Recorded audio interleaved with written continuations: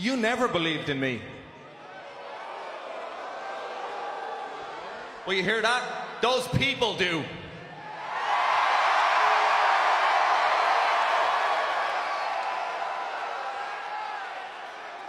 And I know you're stubborn and nothing I say is going to change your mind.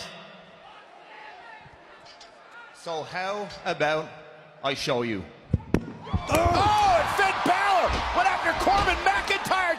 Cena.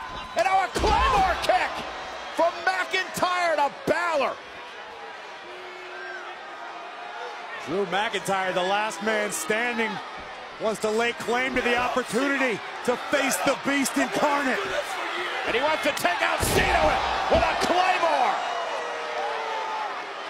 The Scottish psychopath with a major statement for the boss. That's got to be all the proof Mr. McMahon needs to see. I like this, huh? Like this?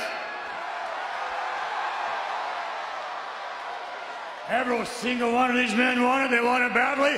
What do you say? Let's find out who's going to face Brock Lesnar. What do you say we find out tonight? What do you say we have a fatal four-way match? That's what we'll do.